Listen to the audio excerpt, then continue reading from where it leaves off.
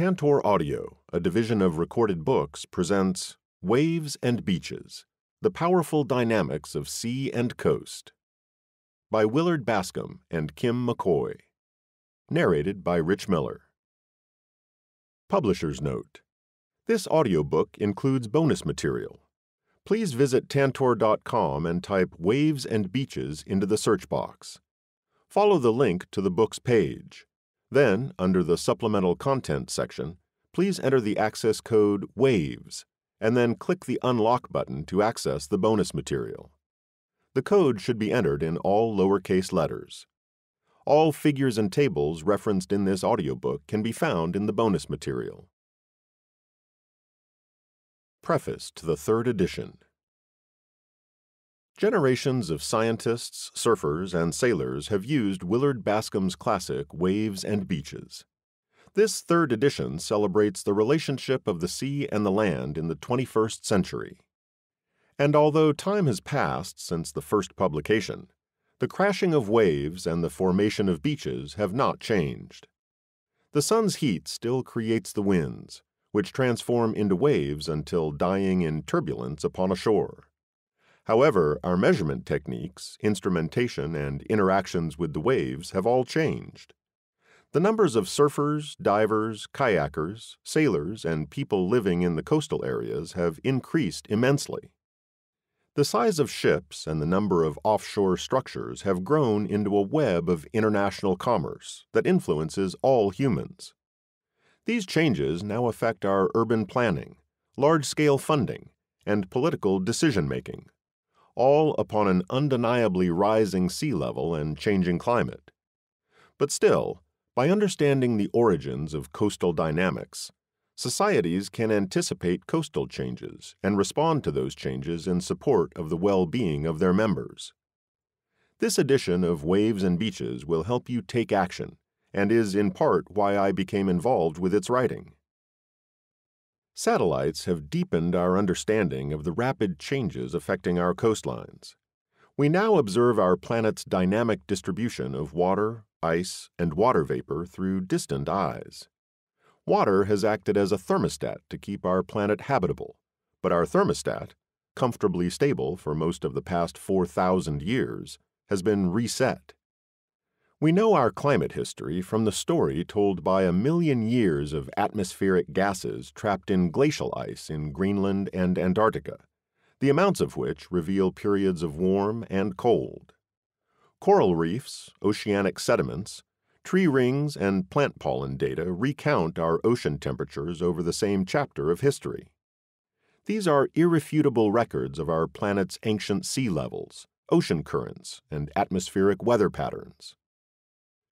These ancient dynamics have been disrupted by rapid population growth, the use of fossil fuels, the damming of rivers, the changing sediment loads, and the diversion of water flowing through estuaries and deltas as we contaminate aquifers with chemical pollutants.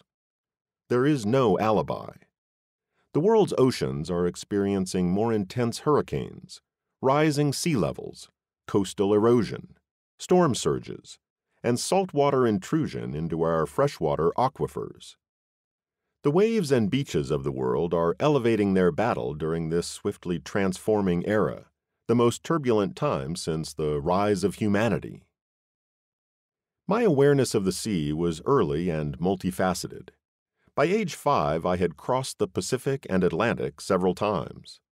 I was body surfing by age nine, free diving at 11, sailing at 13.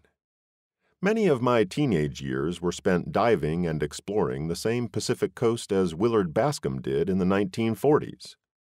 I have measured waves at sea from above, below, and within.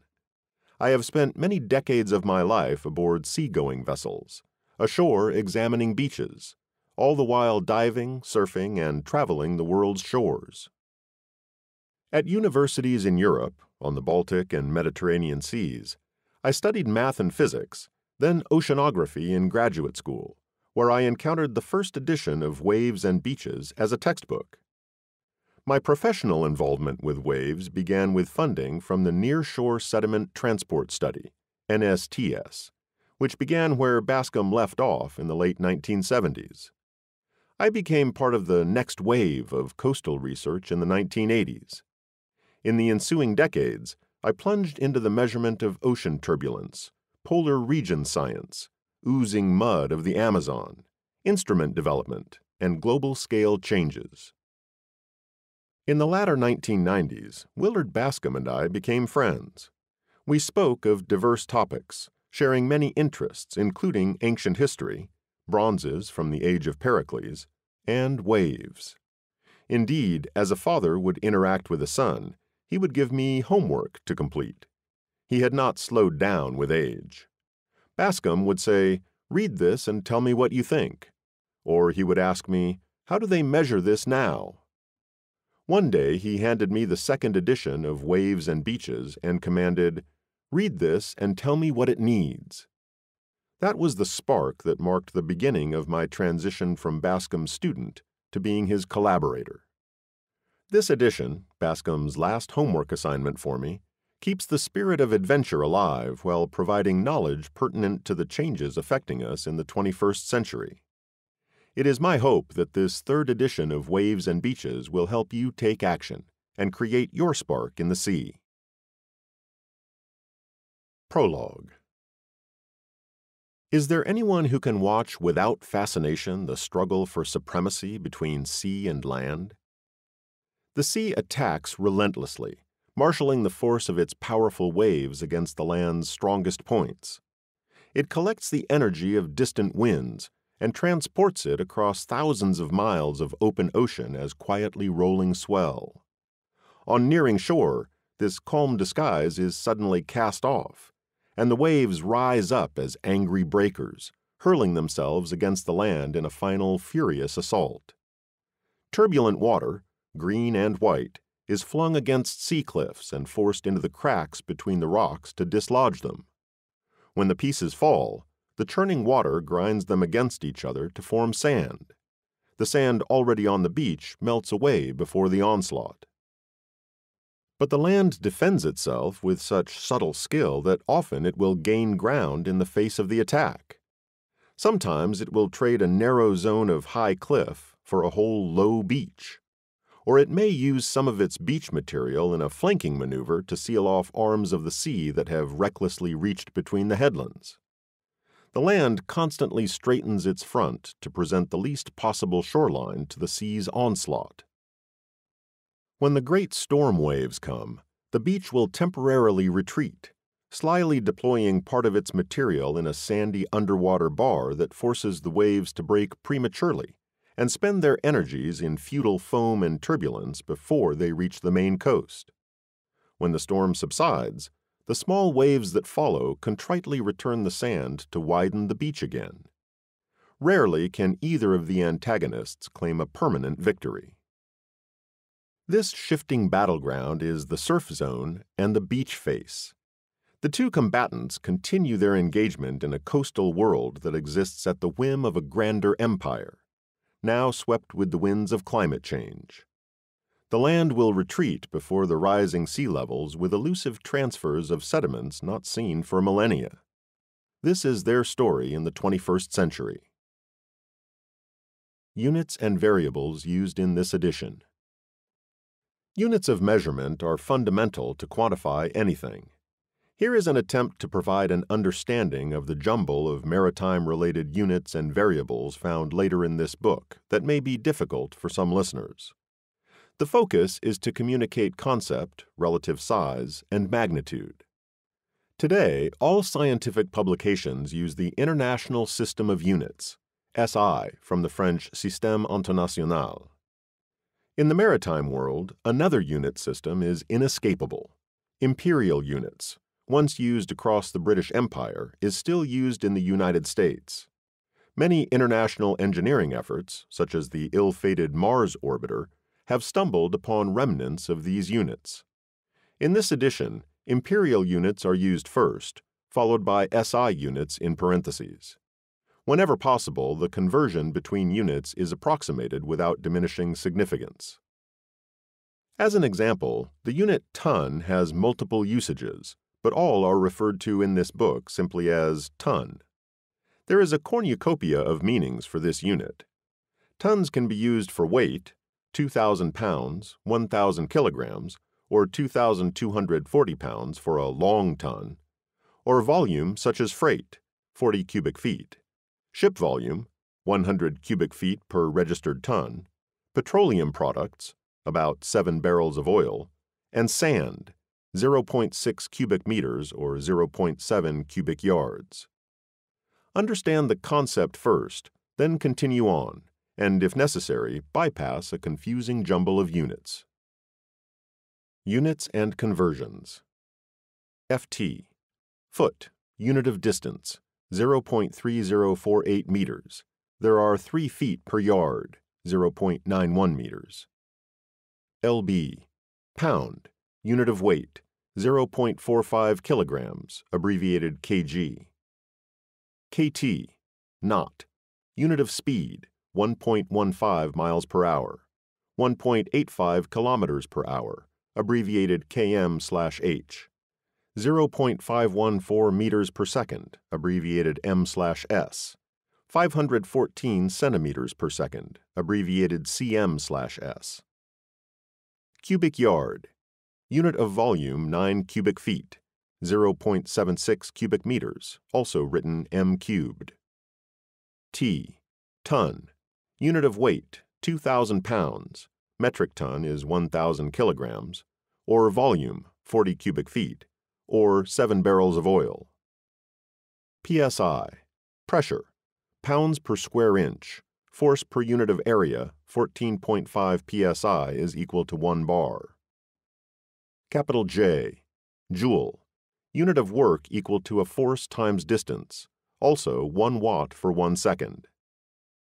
Capital W, watt, unit of power equal to 1 joule per second, also 1000 watts is equal to 1 kilowatt. kWh, kilowatt hour, unit of energy, power in kilowatts times the number of hours. HP, horsepower, unit of power, approximately 750 watts. Capital F, degrees, unit of temperature. To convert Fahrenheit to Celsius, subtract 32 and multiply by 0.5555. Variables. Capital L, wavelength or distance between two points. D, water depth in units of distance, length. Capital H, wave height measured from trough to crest, peak. F. Frequency measured in cycles per unit time, same as 1 over capital T. One cycle per second is 1 hertz, Hz. G.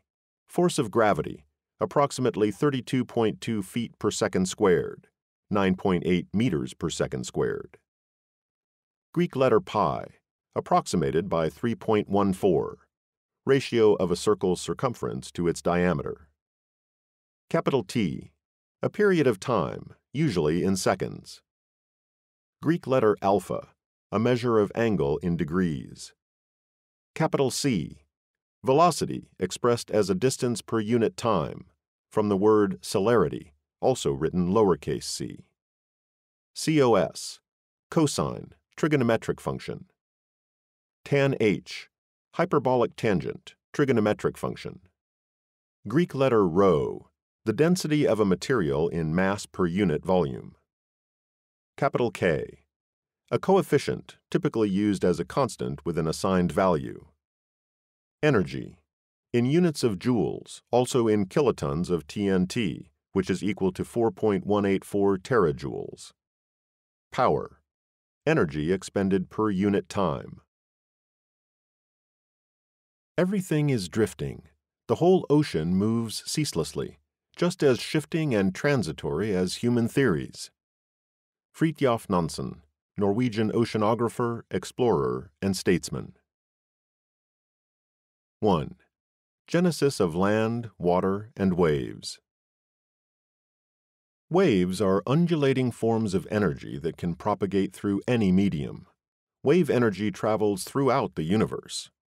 Waves may exist in solids or on the interface between any two fluids of different densities, But this book will deal primarily with those that travel on the surface between the ocean and the atmosphere. Although any kind of disturbance in the water is likely to generate waves, there are three prime natural causes wind, earthquakes, and the gravitational pulls of the moon and the sun. Wind waves are the most familiar kind. They are also the most variable, and in many ways the most puzzling. The size and variety of the waves raised by the wind depend on three main factors the velocity of the wind, the distance it blows across the water, and the length of time it blows. Moreover, the character of the waves changes markedly as they move away from the winds that created them. The earthquake mechanism for wave creation is simpler and thankfully less frequent. In this version, a rapid motion of the subsea rocks disturbs a mass of water. In regaining its equilibrium, the water surface oscillates up and down and sends out a series of seismic sea waves, collectively called a tsunami.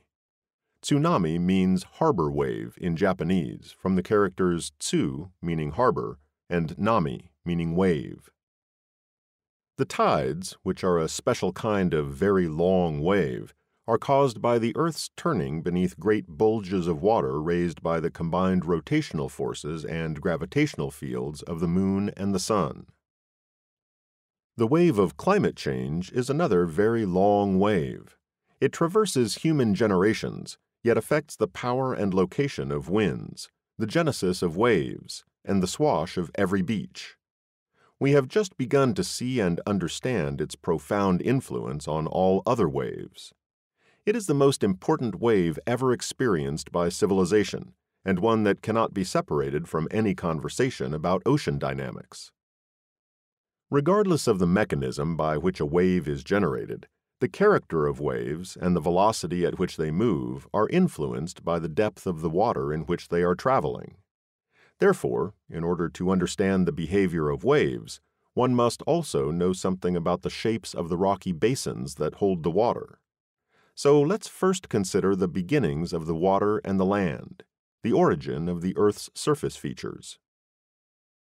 The Earth and its Waters The Earth formed from rocky and metallic fragments during the construction of the solar system debris that was swept up by an initial nucleus and attracted together into a single body by the force of gravity. The original materials were cold as outer space and dry as dust. Whatever water and gases they contained were locked inside individual fragments as chemical compounds. As the fragments joined, the Earth's gravity increased, attracting larger and larger objects to impact the Earth. This increasing gravity, combined with the timeless radioactive decay of elements like uranium and thorium, caused the new Earth to heat up. The internal temperature was such that many compounds broke down, releasing their water and gases. Plastic flow could occur. Segregation by density began, and the Earth started to organize into its present layered structure. The heaviest metals sank to the center, the lightest materials migrated outward. The massive heat in the Earth led to motions of its rocky interior, much like the convection cell patterns seen in a boiling pot of soup. In turn, this process led to plate tectonics, a process where a conveyor belt of basaltic lowlands formed as the upwelling cell reached the surface, forming the ocean basins. As the basaltic plates dove down into the Earth's interior, they also caused melting, leading to the formation of the lightest rocks, granites, that reached the surface and collected over time into the large blocks now known as continents. At the same time, superheated water and gases were brought to the surface by volcanic activity. The hot, steamy atmosphere cooled and condensed into liquid water, which flowed into low lying basins. After a few billion years, a global ocean had formed, and the atmosphere was sufficiently dense enough that effective winds could exist to transport the ocean's water vapor over the land. As soon as the evaporation condensation cycle, hydrological cycle, could operate, rains fell, and stream erosion began. During one wave of cooling, a billion or so years ago, solid water, snow and ice, appeared as glaciers on mountains and ice caps at the poles. Fragments of continental rock were carried downhill by the running water and deposited into the ocean. In colder regions, glaciers ground away at the underlying rocks and provided fine sediments to the flowing waters below. The coarser particles were deposited close to shore. The finer ones were carried out to deep water, where they formed sedimentary deposits that tended to smooth the seafloor and raise the sea level. The motions of the new atmosphere created the first wind waves, and these waves began the attack on the primordial shorelines. Just as they do now, the waves undermined sea cliffs, bringing down large chunks of rock, which were ground against each other by the moving water to form sand. The sand mined from the cliffs and the sand mined inland by streams were intermingled, sorted by the movement of the water, and redistributed along the shore. The first beaches formed. As these processes proceeded over millions of years, the segregation of materials in the Earth's interior plate tectonic motions and new water arriving at the surface still occurs. The level of the ocean rose above the edge of its prior natural basin. The prior edges of the continental blocks have been flooded to an average depth of 600 feet, 200 meters, causing many shorelines today to be sandy and rocky. It is well to remember that although the shoreline is important as the place where land and water meet, it is not the rim of the ocean in the geological sense.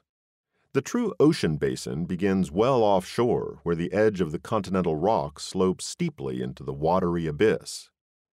In the basin, the average water depth is nearly 15,000 feet, 4,500 meters, and the great waves race along at high speeds. On the shallow shelves, these same waves are slowed by the drag of the bottom. Therefore, it is on the shallow continental shelves that many of the phenomena described in this book occur. On these shallow shelves, the waves moving landward from the deep ocean are transformed, where they first feel the bottom. It is here where beaches are created and constantly rearranged, where human constructions must meet and resist the force of the ocean's waves. When viewed from space, the surface of Earth appears as primarily liquid, but do not be deceived. There is surprisingly little water on Earth in comparison to Earth's total volume. Of all the water on Earth, about 97% is in the ocean. The forces of nature engage the Earth's water as a weapon in a constant battle with the land. The sun's radiation warms the Earth, forming the atmospheric and oceanic circulation patterns. Once in motion, all are influenced by the Earth's rotation.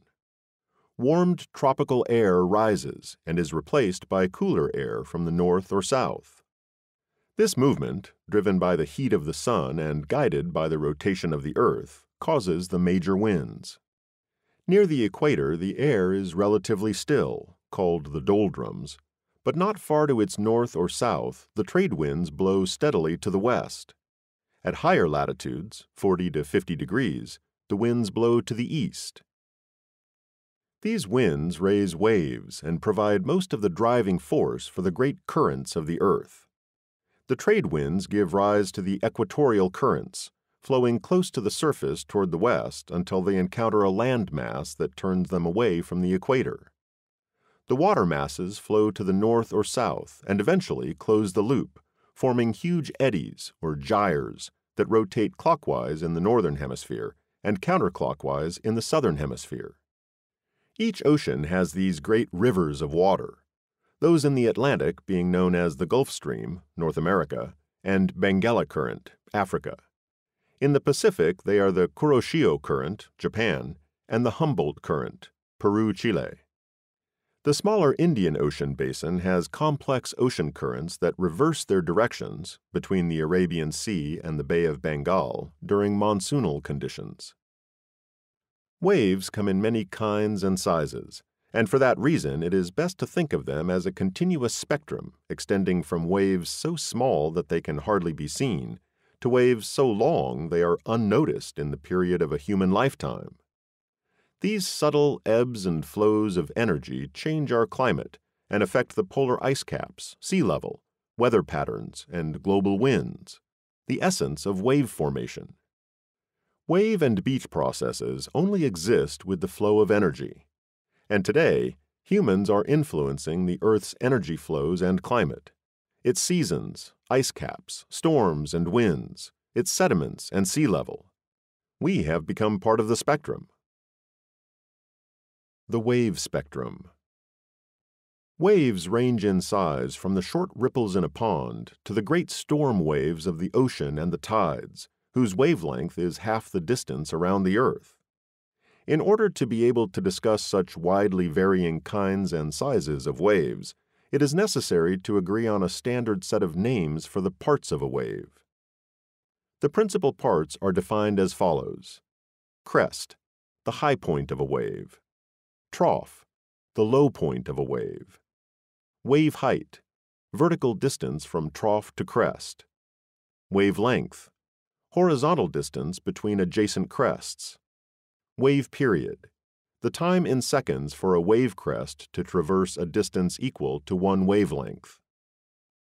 There is a direct relationship between wave period and wave length, but wave height is independent of either. Waves are classified according to their period. Most range from less than one second to minutes, tsunamis, to hours, tides. Each undulation of each wave changes sea level for a characteristic period of time. Occurrences measured in years, such as El Nino Southern Oscillation, ENSO, bring storm waves, and the thousands of years-long period Milankovitch cycles, Earth's tilt and orbit patterns, affect sea level. The wave spectrum diagram shows that the waves in the ocean are distributed among several major types, each with its characteristic range of periods and influence on sea level. Beginning near the left side of the spectrum with the very short period waves, we have in order ripples with periods of fractional seconds, wind chop of 1 to 4 seconds, fully developed seas 5 to 12 seconds, swell 6 to 22 seconds, surf beat of about 1 to 3 minutes, tsunamis of 10 to 20 minutes, and tides with periods near 12 or 24 hours. Thus, there are many kinds of waves, each generated and developed in a special way. Note that all the water waves just mentioned are called gravity waves because once they are created, gravity is the force that drives them by attempting to restore the original flat water surface. Each gravity wave is made up of two parts the crest that rises above the average sea level and the trough that extends below it. As a group of waves moves over the surface of the water, each crest seems to be forever attempting to overtake the trough ahead, fill it in, and restore equilibrium. The wave source, whatever it was, worked against gravity. One special form of wave not driven by gravity is possibly the most abundant kind of wave on the sea. The first tiny ripples that a light breeze raises on a glassy sea surface, or on the slopes of larger waves, are called capillary waves. Capillary because they are controlled by surface tension and respond to the same forces that cause water to rise in a capillary, very small diameter, glass tubing. The capillary force inside a small glass tube is stronger than gravity, so the water moves slightly upward. Surface tension is a property of liquids that makes them want to pull together and act as though they were covered by an elastic film. This force pulls water molecules together, cohesion, and determines the shape of each capillary wave and form of every drop of water.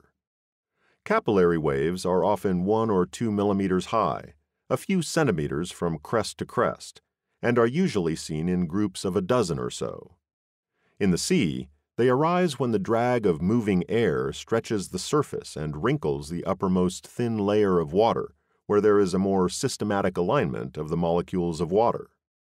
Thus, the size, slope, and velocity of these tiny waves are governed by the elasticity or tension of the surface film. As might be expected in a phenomenon dominated by surface tension, the wave crests of capillary waves are rounded rather than peaked. A rise in the sea temperature will cause surface tension to reduce and viscosity to decrease, and these changes affect how waves are formed. Unlike gravity waves, the shorter wavelengths move faster.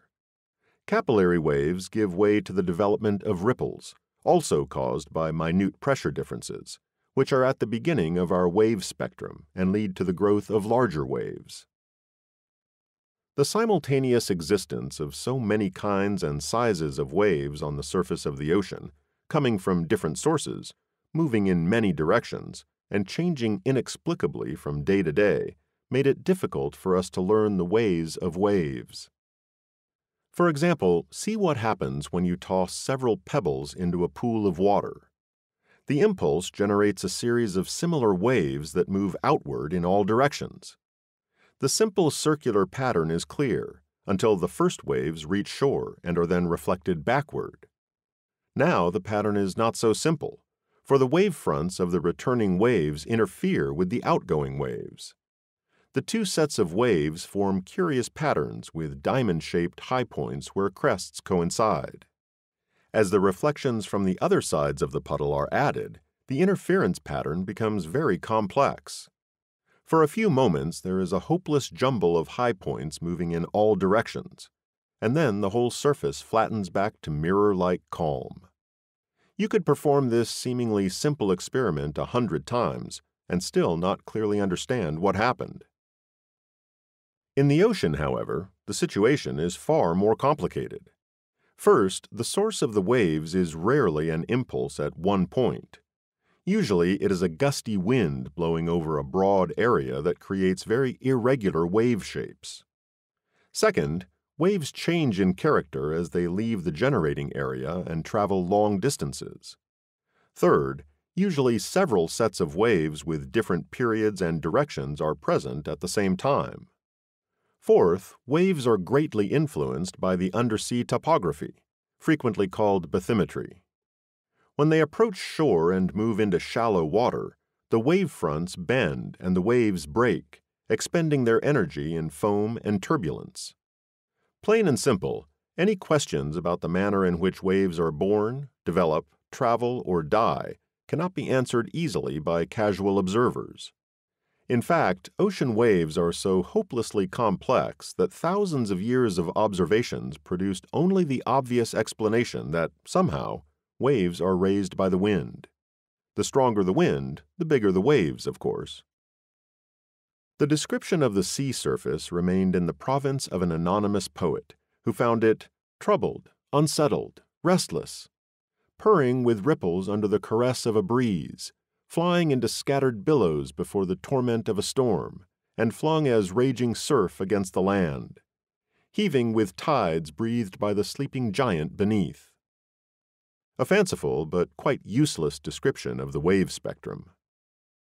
Now, after more than a hundred years of scientific work, including concentrated efforts since the 1940s, most of the major features of waves and their causes can be satisfactorily explained in mathematical terms and reproduced experimentally. Theoreticians use complicated equations, and occasionally the study of waves slips into the hands of those who have never been to sea. Here we will resist such complexity and remain descriptive when possible. The Edge of the Land The crust of the Earth is slowly but constantly shifting. The continents act much like a great raft of rocks, floating on the viscous interior of the Earth and reshaped by plate tectonics. Consequently, if a load is added to the top of the raft, by a huge volcanic outpouring of lava or the accumulation of a great mass of ice, for example, the raft will sink a little and the sea level will appear to rise. By the same reasoning, as erosion removes land mass and large ice sheets melt, the load is lightened and the land rises. This rising of the land as ice sheets melt is referred to as postglacial rebound. For example, a number of embayments on the Alaska coast that were used as harbors a century ago are now too shallow to be navigable because that part of the continent has risen. 70 million years ago, England's famous White Cliffs of Dover were a shallow seafloor. Many types of forces are at work. Everything changes. Other forces deep in the earth also cause the great blocks of continental rock to move up and down and the ocean level to rise and fall. These major crustal movements occur very slowly, but as they do, the shoreline, which is especially sensitive to such changes, advances and retreats. Many geologists classify coasts according to whether they are submerging or emerging from the sea and whether erosion of rock or deposition of sediment has the upper hand. For example, much of the central California coast is rising from Monterey to Mendocino. This movement is evidenced by the existence of terrace-like remnants of old sea bottom now well above sea level. Along the northwest coast, that is Puget Sound, and northeast coast, that is Hudson River Valley to Maine, large segments are described as drowned topography meaning that the land has sunk relative to sea level. Because the original topography was largely hills and valleys, in both of these areas the shoreline is very irregular. Beaches tend to be narrow, short, and rocky. They do not form an important part of the coast. Most of the east coast, from New Jersey to Florida, is nearly straight because the submerged land has a long, gentle slope that extends from many miles inland to the edge of the continental shelf 100 miles 160 kilometers offshore. Neglecting the rapid changes of the past century, this coast is stable, as is the coast of the Netherlands, and has not changed its elevation with respect to the ocean for a long period of time. Such coastlines are characterized by an almost continuous line of sandy barrier islands with great wide beaches.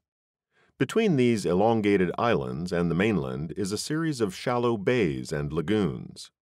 So the basic shape, or the geomorphology, of a coast is the result of the ocean's history of interactions with the land.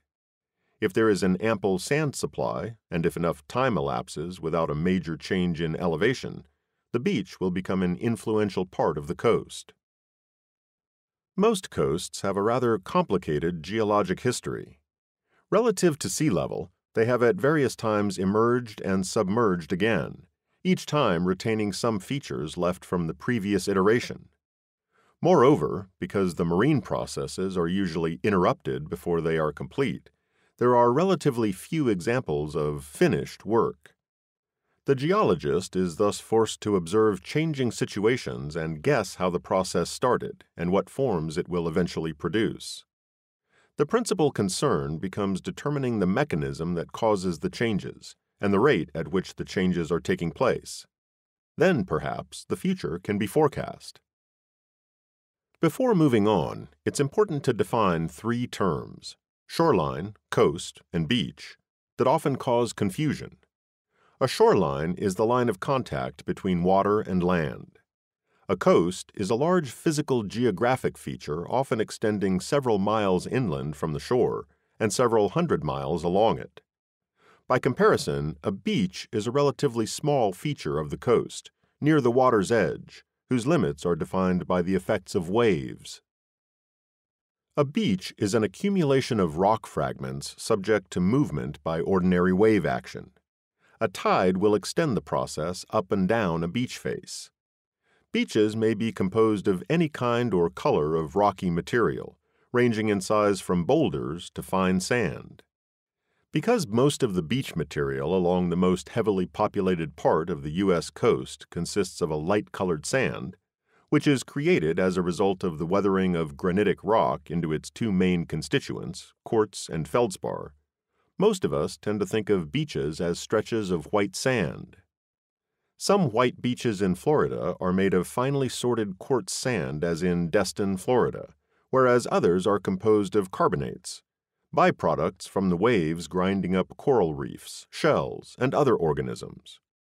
But many Pacific Island beaches are made of black sand, formed by the disintegration of dark volcanic rocks. Many English beaches are composed of small flat stones called shingle, formed from the destruction of sea cliffs made of sedimentary rock, and many Alaska beaches consist of large cobbles. And for a hundred miles along the coast of Baja California, Mexico, the beach is made of two materials a flat sandy portion that is exposed only at low tide, while immediately above and behind the sand, great cobble ramparts rise to a height of 30 feet, 10 meters, or more. Our idea of a beach depends on what we have been exposed to. In this book, for convenience, all beach material will be called sand, although it is recognized that all the features described may be formed in pebbles or shingles or cobbles. We will not, however, explore in detail the complex study of sand, its composition, grain sizes, and mechanisms of formation, as it is outside of the scope of this book. Moving ahead, we can think about beaches in two ways. One, as small closed systems in which the sand moves either onshore or offshore at the whim of the waves, or alongshore in accordance with currents.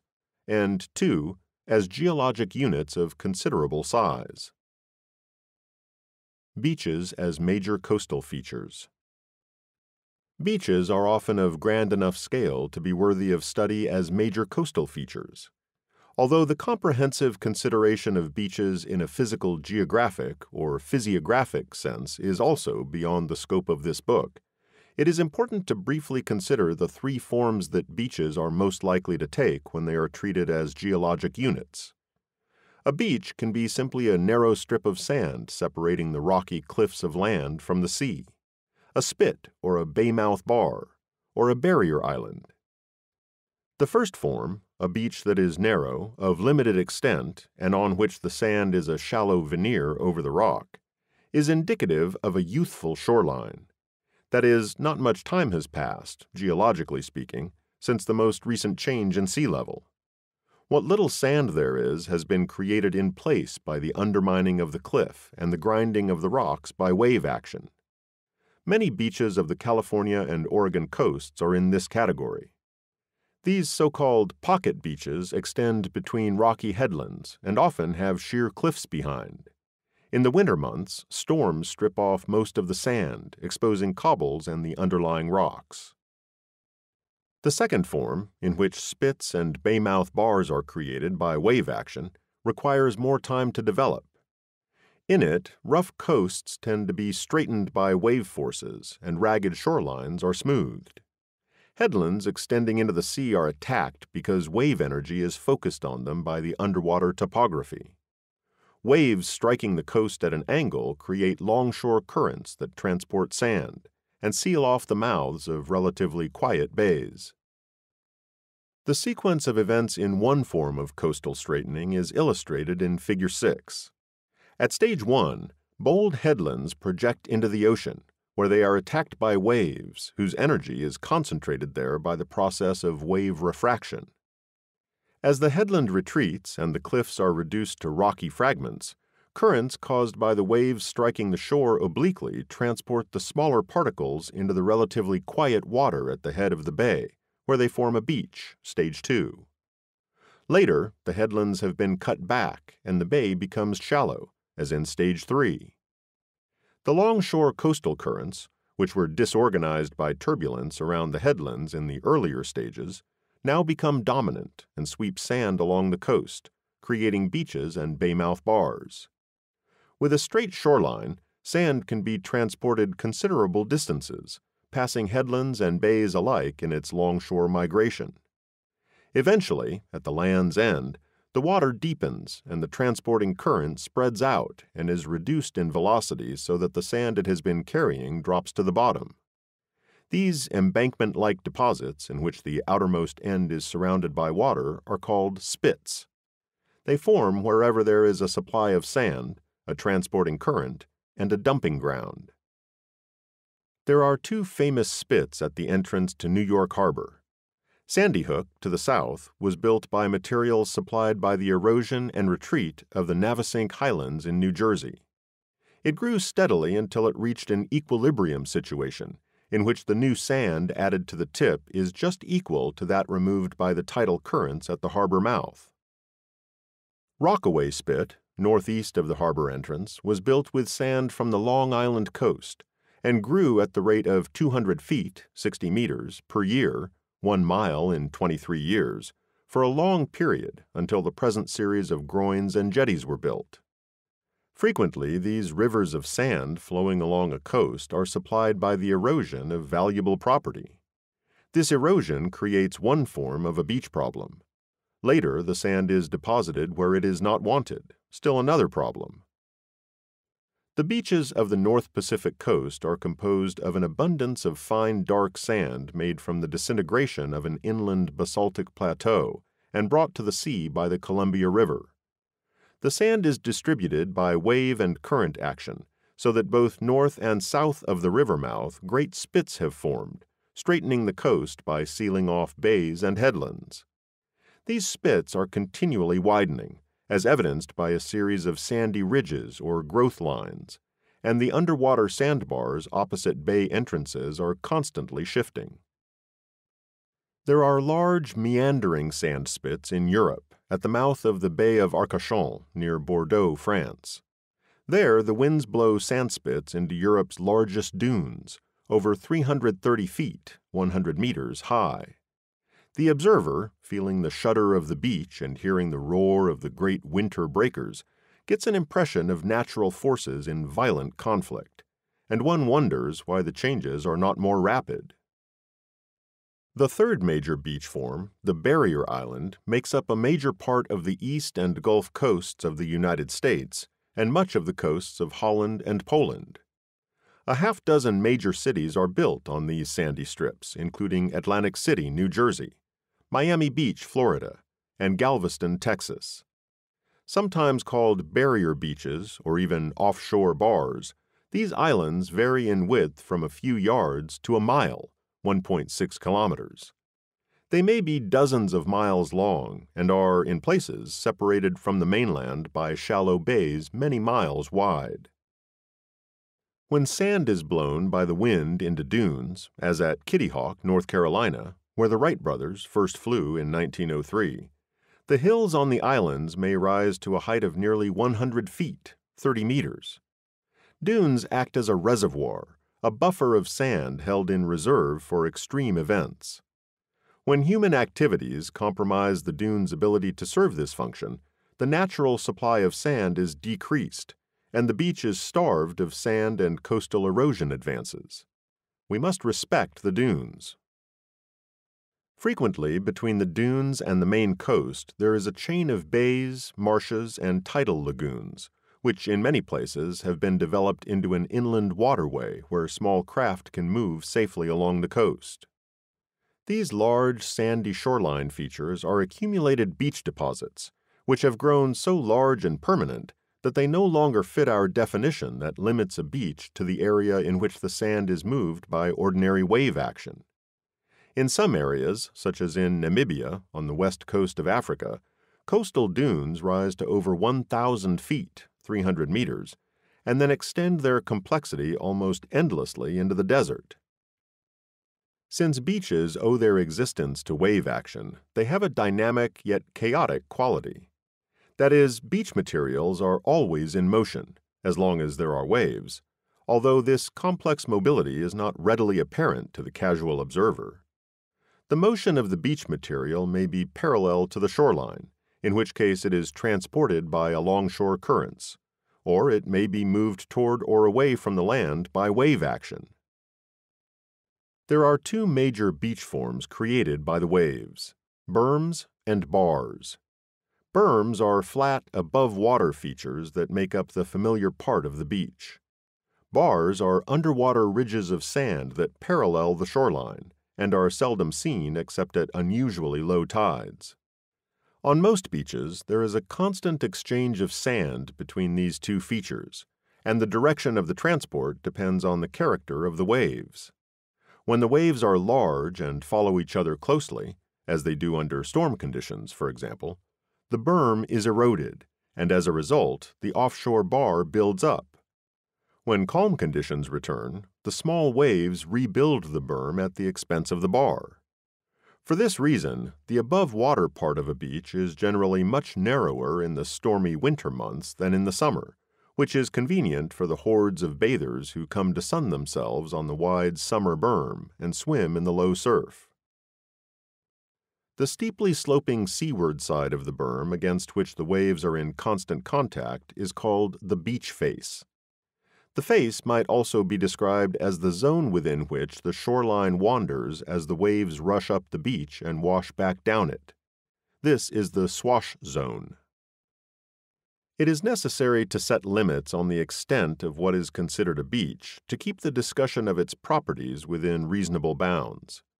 In the seaward direction, beaches extend outward as far as where ordinary waves move the sand particles. This limit has been found to be about 30 feet, 10 meters, below the low tide level. This is an arbitrary but satisfactory limit that is generally accepted. Above water, the beach extends landward to the edge of the permanent coast. The latter may consist of a cliff, sand dunes, or human made structures. In the geological sense, these are not really permanent, but they endure far longer than the small scale beach features that concern us here. The Earth's coastlines have not always been the way they are now. Geologically speaking, most shorelines and beaches are very recent features. The present sea level has existed with little change, changing only a few feet over the past 4,000 years. This is because we have been living in an interglacial calm after a period when two great ice sheets covered the Earth, and sea level was much lower. 20,000 years ago, the global sea level was also fairly stable, but about 400 feet, 120 meters, lower than today. The Mediterranean island nation of Malta was connected to Italy. Now it is 60 miles offshore. However, by roughly 18,000 years ago, a warming period had been set in motion by the Milankovitch cycles.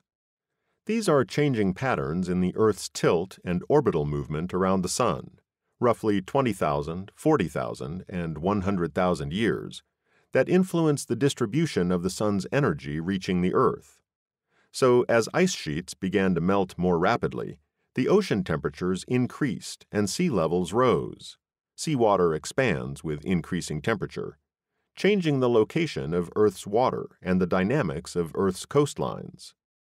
During the Younger Dryas cold snap about 13,000 years ago, when pulses of cold meltwater went into the North Atlantic, the rate of sea level rise slowed for a millennium, lessening the sea's rate of assault on beaches. But the Earth continued to warm, glaciers continued to melt, and sea level rose for many thousands of years, creating new shorelines and beaches. The old beaches were left under hundreds of feet of water. No beach on Earth was left unchanged. Although sea level has been comfortably stable for most of the past 4,000 years, previous sea level rises provide earnest proxies for how today's changing climate is already affecting the dynamics of coastal regions. In some areas, geological, or tectonic, uplift and the postglacial rebound have caused the land to rise relative to sea level. This means that few shorelines have reached steady state conditions. An example of this post-glacial rebound is the city of Pisa, Italy, which was a port less than a thousand years ago. Even though the city was never covered by glaciers, it is now over two miles, three kilometers, from the sea.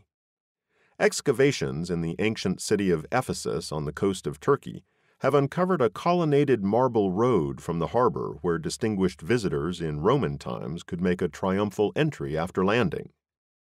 Now the point of debarkation is more than a mile, two kilometers, from the sea.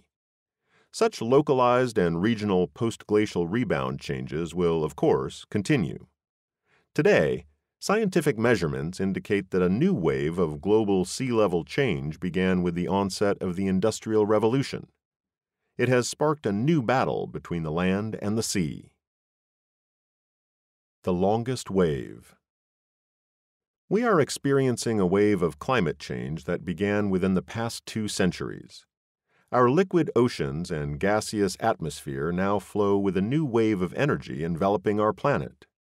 Water stabilizes our climate. It takes energy to change rigid ice into flowing water. It takes even more energy to change liquid water into water vapor. We know that the flow of energy connects everything it influences the formation of continents, earthquakes, volcanic eruptions, the strength of the sun's rays, the amount of ice, sea level, human population dynamics, types of atmospheric gases, ocean circulation patterns, seasons, the warm cold meanders of the jet stream, winds, ocean waves, beach erosion, and sand formation.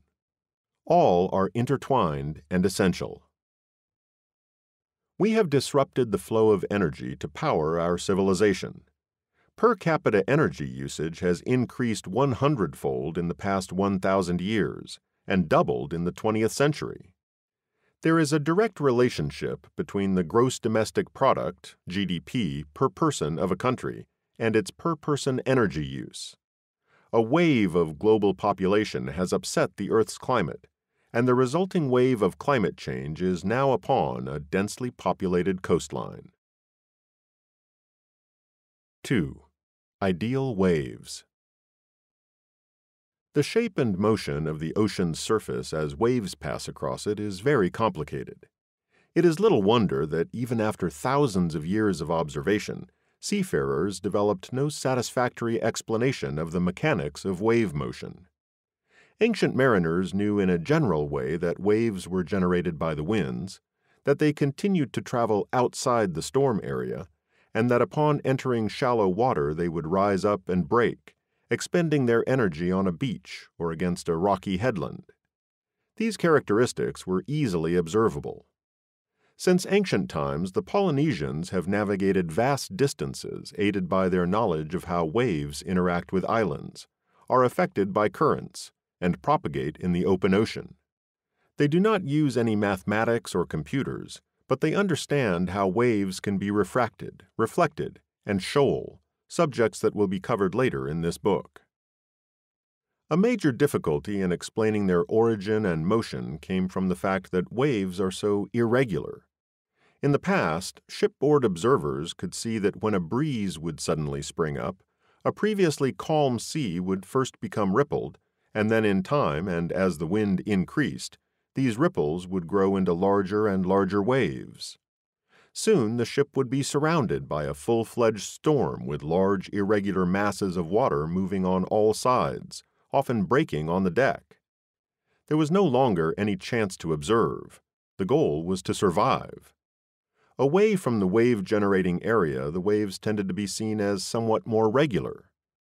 These observations were confused by the simultaneous existence of several kinds of waves from different storms, and by the curious effect of the underwater topography. Observers on shore would see high waves intermixed with low ones. Several would arrive in quick succession, and then the time between waves would be long. Some would break, others not. In the midst of a period of calm weather and blue skies, Suddenly, great waves would arrive at a shore, and no one on the shore could explain why. No general set of rules for wave behavior could be worked out that seemed to cover all the conditions observed.